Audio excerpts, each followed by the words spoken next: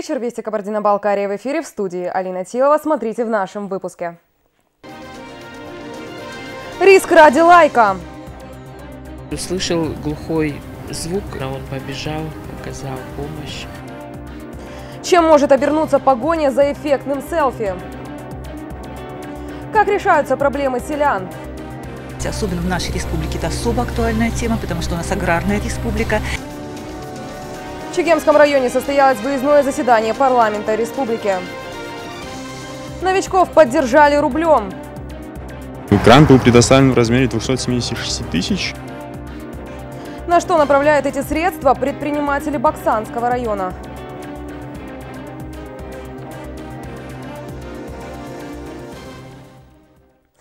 Сегодня в Доме правительства КБР Юрий Коков встретился с уполномоченным при президенте России по правам ребенка Павлом Астаховым, который находится в республике с рабочей поездкой.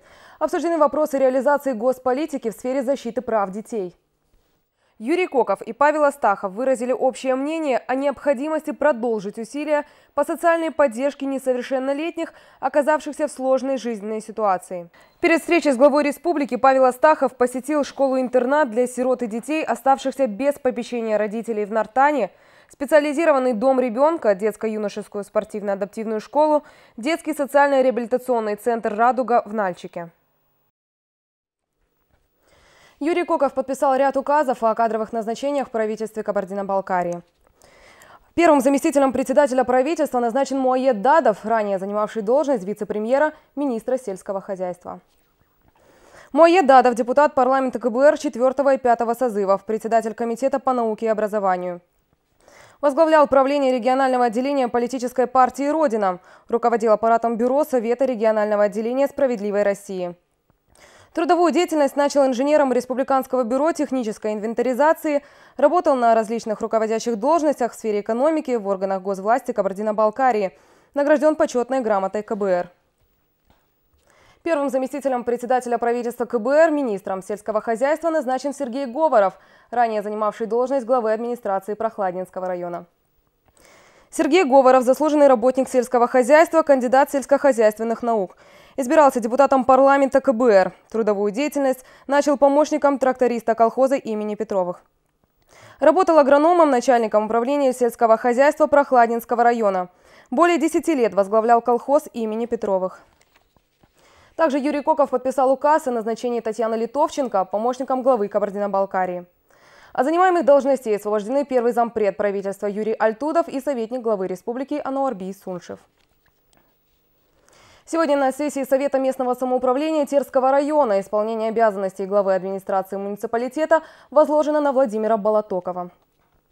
Свою трудовую деятельность новый руководитель Терского района начал в урожайном экономистом колхоза. Работал в системе высшего образования налоговых органах. С 1998 года по нынешнее время занимал должность замуправляющего отделения Пенсионного фонда России по КБР. Награжден почетными грамотами парламента и правительства КБР. Максим Панагов от должности главы администрации освобожден согласно поданному в Совет местного самоуправления заявлению. Терский район он возглавлял более 20 лет. За многолетний добросовестный труд ему вручена благодарность главы Кабардино-Балкарии.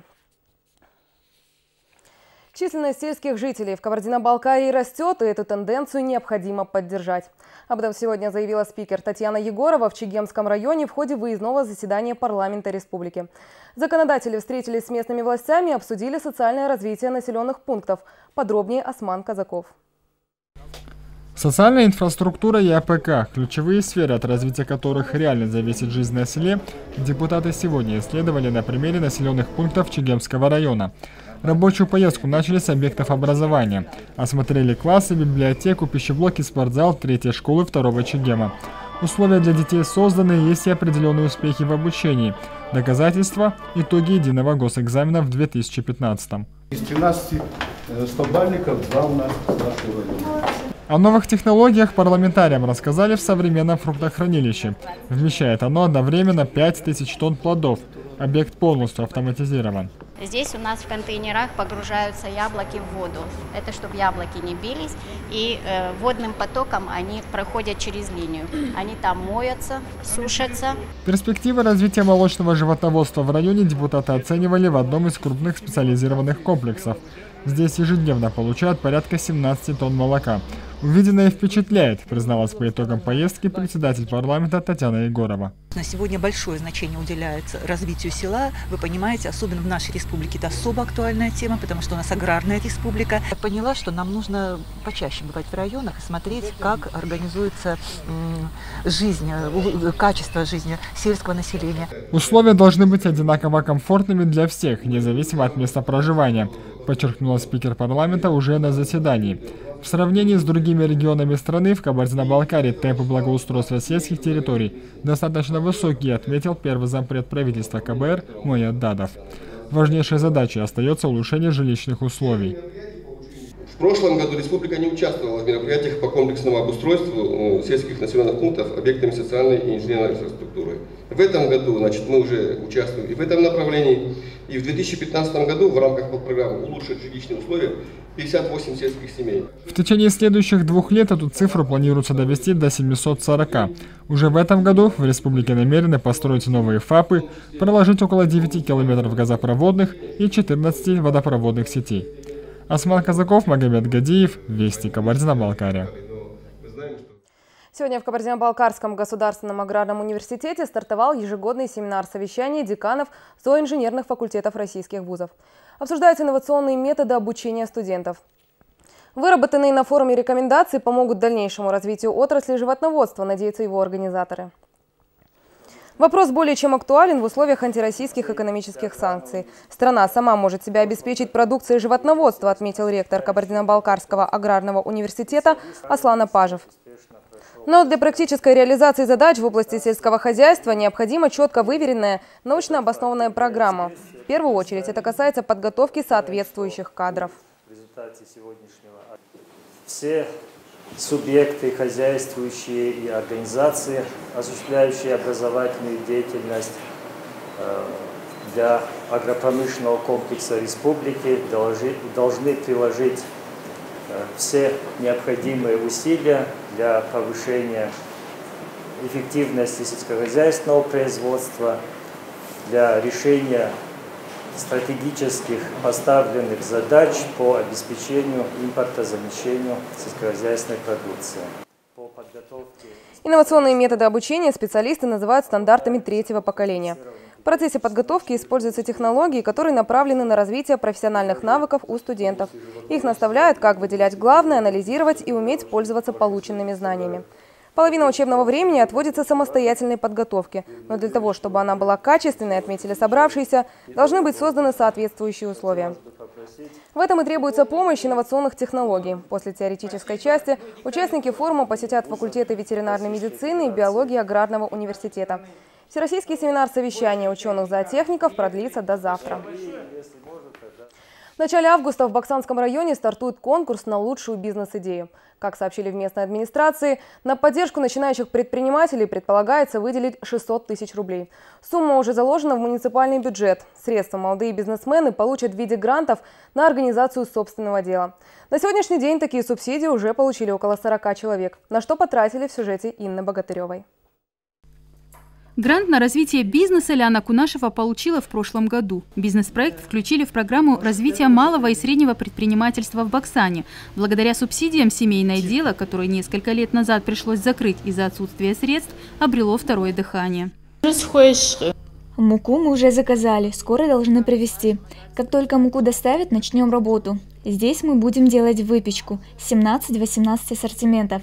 Если говорить о цехе, у нас все необходимое оборудование уже есть. Включай и работай. Здесь будем печь хлеб. 150 булок за один раз можно испечь.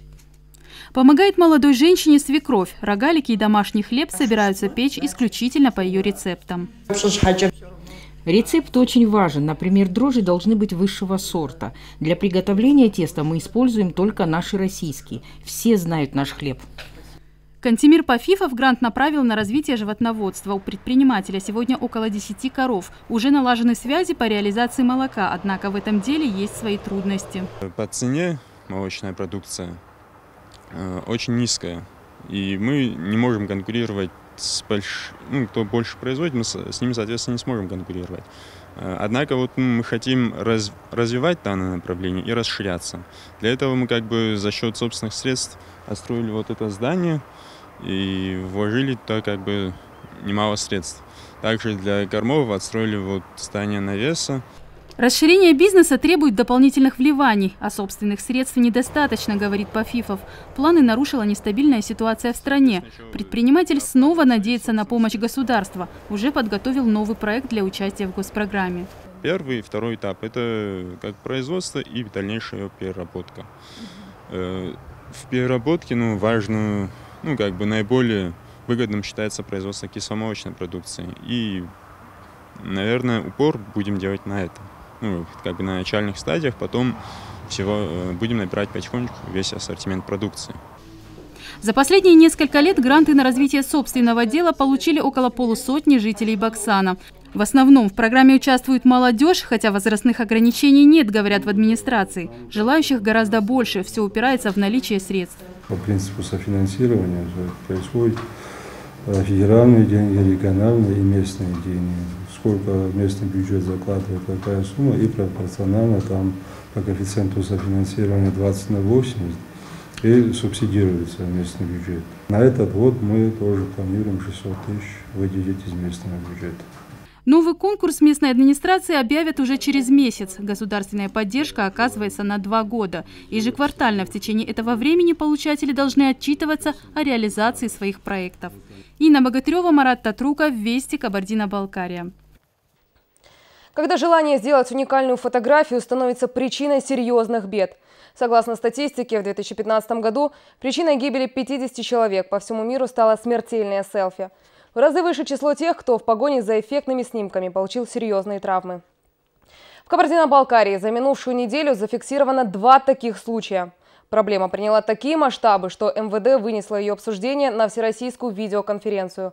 Продолжит наш специальный корреспондент Нуржан Кубадиева.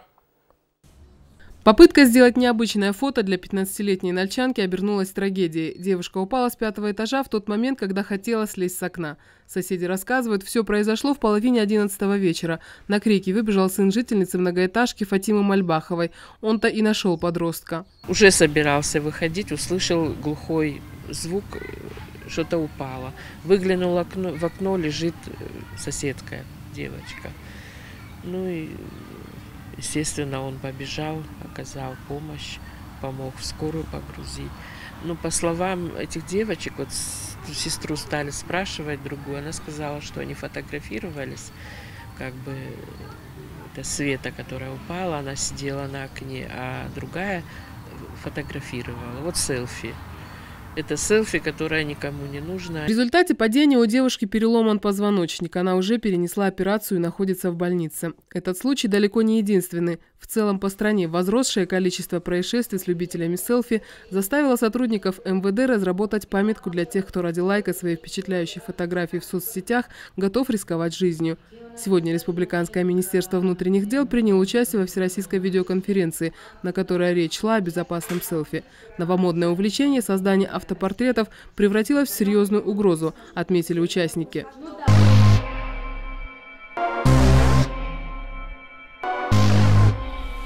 На днях в центре Москвы разбилась девушка, которая пыталась сфотографироваться на мосту. В Санкт-Петербурге погиб молодой парень. Он хотел запечатлеть себя на противопожарной лестнице. В Тульской области подросток буквально зажарился на высоковольтном столбе. В Ростове-на-Дону скончалась школьница, получившая травму во время фотосессии на железнодорожной цистерне. Каждый из этих случаев можно было предотвратить, отмечают специалисты. Проблему надо решать вместе с родителями. Мы планируем в летних оздоровительных лагерях провести профилактические мероприятия, лекции, беседы, конкурсы, викторины чтобы дети знали, как правильно фотографироваться, чтобы не было у нас несчастных случаев. На сайте МВД России уже размещена памятка «Безопасные селфи». Здесь представлены пиктограммы, на которых изображены наиболее травмоопасные случаи создания селфи. Тем самым сотрудники правопорядка пытаются предостеречь граждан от неоправданного риска ради запоминающегося кадра. Нуржан Кубадиева, Зульфира Геляхова, Анзор Кашироков и Заур Канкулов. Вести, Кабардино-Балкария. Продолжаем. Почти 80 нарушений правил охоты за первое полугодие. Таковы результаты рейдов, проведенных совместно с республиканским МВД, заявили сегодня в Минприроды Кабардино-Балкарии. Остро стоит вопрос уничтожения редких и находящихся под угрозой видов животных и растений. В ходе плановых проверок Департамента охоты выявлено 15 браконьеров. Кроме того, сначала Госохотнадзор вы, выписал 35 протоколов за нарушение правил. Всего за отчетный период инспекторы выписали штрафов на 120 тысяч рублей. Больше половины из этой суммы уже взыскано. Три материала переданы правоохранительным органам. Э, из них по двум возбуждены уголовные дела, задержаны браконьеры. Сократилась численность косулей, серны, э, медведей. В связи с этим э, мы приняли решение. На основании этих данных подготовлен проект постановления правительства Кабардино-Балкарской республики по запрету охоты на оленей на всей территории Кабардино-Балкарской республики, также всех видов охот в Майском районе и Белореченском охотучастке Начикского охотхозяйства сроком на три года. Накануне одного из самых светлых и молодых праздников России – Дня семьи, любви и верности, Нальчикской мэрии по традиции вручили общественные награды. Дата в календаре появилась 6 лет назад по инициативе Светланы Медведевой. Первый вице-мэр столицы республики Анатолий Танканок и руководитель городского ЗАГСа Валентина Шириева вручили медали с изображением белой ромашки, символа праздника, 17 семьям. Это люди, чей супружеский стаж превышает четверть века, достойно воспитавший двух и более детей. Среди награжденных супруги Демьяненко, прожившие вместе почти 55 лет. Первое – это любить свое отечество. Беречь младших, заботиться о старших. Вот наш девиз. Я горжусь тем, что воспитал две дочки сына, все получили высшее образование, трое внуков получили высшее образование и пять правнуков еще, которые пойдут в школу. Медаль вручили семье Шурдумовых, они тоже больше полувека вместе. Как говорят супруги, не представляют себя друг без друга. Валентина до сих пор вспоминает, как в начале супружеской жизни муж принес ей огромный букет ромашек. Вот прошло много-много лет, а, а у меня до сих пор эти ромашки в памяти. Ой, что-то я разволновалась. Награждение в столичной мэрии стало уже традиционным. Медаль общественная была учреждена оргкомитетом по празднованию Дня семьи, любви и верности в 2008 году. Далее прогноз погоды. И на этом у меня все. Всего доброго и до встречи.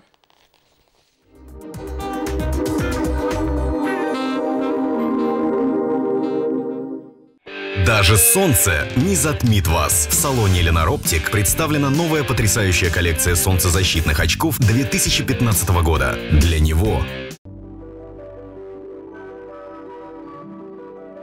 По информации метеоцентра ФОБОС, завтра в республике ожидаются грозовые дожди, температура повысится. В Зольском районе облачно, небольшие осадки, плюс 25. В горах пасмурно, дожди. У подножия Эльбруса 14 тепла, ночью плюс 7. Пасмурно и в Тернаузе, грозой, плюс 22. Дожди прольются над Баксаном, Чегемом и Нарткалой. Столбик термометра поднимается до 30 градусной отметки. Облачно в прохладном и майском, до 32 тепла, осадки. В Терском до 33 и Лискенском 25 тепла. В Кашхатау дожди с грозами, воздух прогреется до плюс 26. Плюс 29 в Нальчике, по-прежнему облачно. Ночью с прояснениями и плюс 17.